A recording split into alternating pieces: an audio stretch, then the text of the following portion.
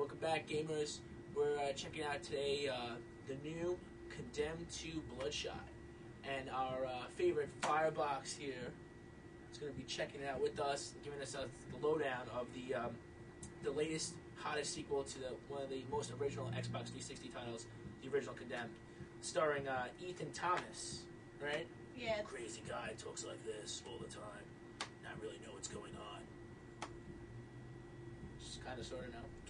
Anyways, yeah, I guess I'm gonna stick to uh, reviewing titles. But anyways, uh, for the most part, we're gonna be checking out Condemned 2 Bloodshot. Now, you said it in your original interview, right? You like games like this.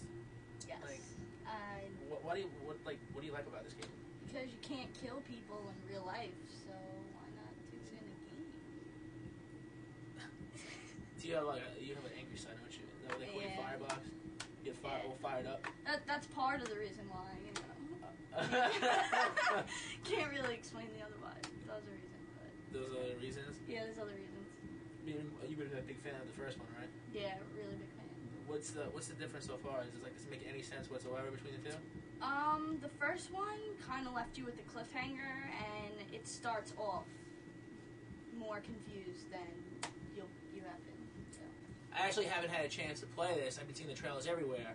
Uh, I was kind of excited to get my hands on this game, but uh, I guess Firebox got her uh, paws on it first. And uh, I guess we're going to check it out, right? Yeah. Check it out. Condemned 2 Bloodshot, Xbox 360. Now let's get started with the review of Condemned 2 Bloodshot, the anticipated sequel to Condemned Criminal Origins. I know I'm pretty uh, excited and anticipating. I'm anticipating uh, all the uh, all the multiplayer action. Supposedly this game has multiplayer action, right? Yeah, it's a new feature from that wasn't involved in the first one. Really? Well, who do you play as? Like I guess it's online. You can play as a bum, which is pretty cool. It's all about the bums. Yeah, why wouldn't you Take- want to be a bum? Why take- wouldn't you want to be broke? Drunk. Drunk. Take to the streets, the mean streets. Where does this game take place anyway? This game actually takes place, well, it starts off on the streets and then you get into a hotel. And the game basically takes place in this hotel where Van Horn, the character you're looking for, is supposedly last seen. Well, you just hit the hit the hay. Yeah, nowhere to be found. Left a desperate message. Yeah, for Ethan Thomas, who, is, of course, is the main character. And homeboy looks like drunk and confused and all sorts of twisted up. Yeah, I mean, if you got kicked off the special crime unit force, I think you'd be a little upset. Oh yeah, Yeah, just a definitely. li- just a little bit. So what are the um, the story starts out with Ethan Thomas. I was watching you play. So you starts with Ethan Thomas, and you gotta find your friend. I guess from the first one, right? Which was Van Horn. And uh, what's the, what's the first mission? Is pretty pretty intense, right? Yeah, well, the first mission, it actually starts off with a tutorial where you learn how to use combos, which is very different from the first game because you can only use one hand. Sorry, guys, there's no taser in this one, but you can do multiple combos. You can't hold two weapons in both hands, but you can use both hands throughout the whole game. And I saw you like rush at a character before. Like there's like even rushing combos, right? There's hand to hand. There's, there's like rushing. There's Yeah, hand hand to feet. hand to feet. And there's a combos menu. I think you pulled. I saw you pull up like a combos menu, like it was a fighting game or something. Yeah, that was really cool. So if you forget the combo, you can always go back to it. And uh, yeah, what about like the drug? It seems like he has to you like pound him some drinks or something before. Yeah, you definitely want to pound some drinks if you're using the gun, any type of gun, because his hand gets very restless, and in order to steady it, he has to drink. The alcohol does run out, but if you can find another bottle, you'll be fine. Yeah, because I'm looking to run into some guys drinking, holding 45s. Nice. All That's right. the only way to, to shoot, is when you're drunk. And it looks like you can pick up anything. Like, I just- I just saw you pick up some like poo poo pachoo like toilet seat. Was like- Definitely the poo poo pachoo toilet seat.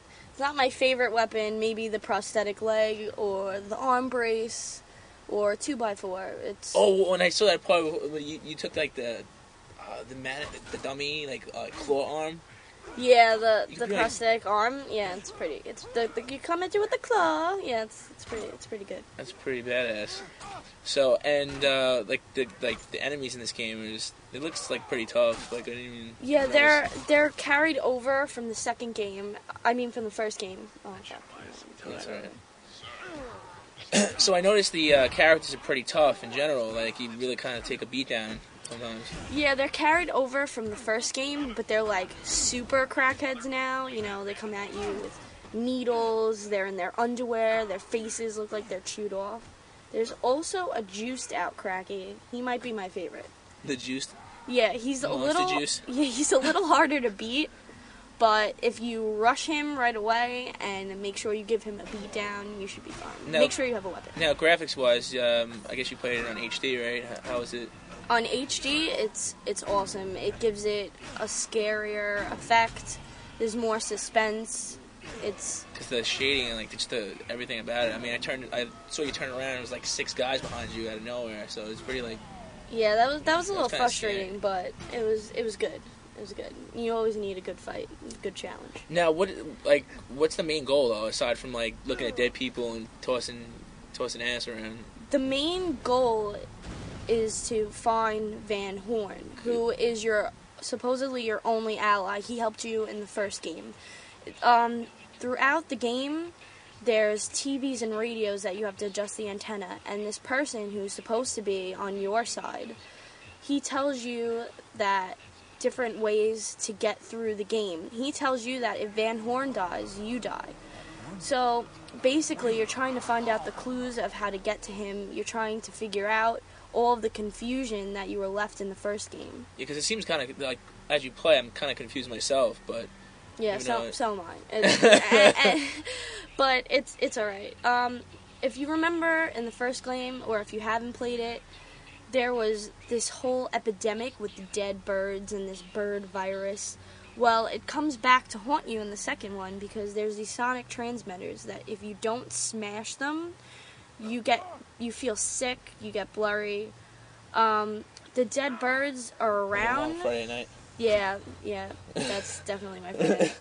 if the dead birds are around, then you know that the sonic transmitter is there because it makes them weak and their heads explode because they can't take the sound. Nice.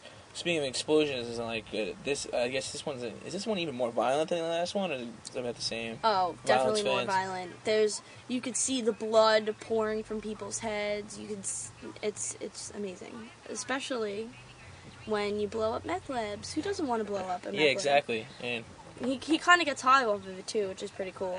yeah, man, everybody gets high when they get off meth labs. You know, because we're all looking looking to start our own meth lab. Oh, That- definitely.